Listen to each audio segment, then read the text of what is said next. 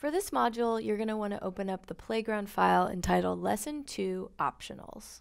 Here's an example of what I mean when I say nil is disallowed in most Swift types. If I declare an int variable x and try to assign it a nil value, I get the following error message. Cannot assign a value of type nil to a value of type int. Ints can't store nil values, and neither can any of the other primitive types. This isn't all that surprising. It's more surprising to see that object references can't store nil values. Here's a reference to a UI color object. It can store a UI color, UI uicolor.redColor, but not nil. That's unusual. This isn't true in Java, C++, Ruby, Python, C Sharp, Objective-C. They all have nil, or null, or some special value that stands in for nil. Notice that even if we change the variable c to be an object of type any object, the data type for a general object reference, we can see that it still can't store nil. In a way, this is cool.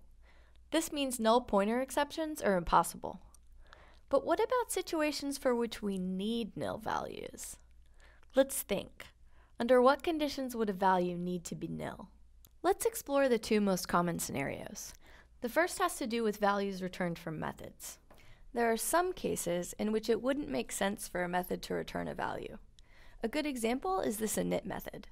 This method is used to initialize an int from a string, but not all strings can be converted to ints. What should happen when s2 is converted to an int? It definitely can't return an integer value, but throwing a fatal error isn't a much better alternative. We can see that the compiler agrees. Something is wrong here. It's important that a method like this int initializer can return something that represents no value or none. Declaring y as a type int isn't enough.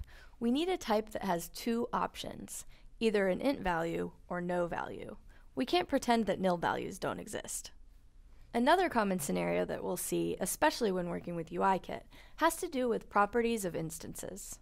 Often, classes have properties that can't be initialized until after an instance is constructed. Consider this simple view controller. Notice that the compiler won't allow me to add this button property. Why is that? The problem is that the button is a regular Swift variable, and Swift variables can't store nil values. So what values should this button member store when a view controller is created? Just like the method return types before, in this situation, we need options. We often need to instantiate a view controller first and then initialize its properties later. This is especially true when we're using Storyboard. Swift needs a way for this button variable to either have a button value or to be nil.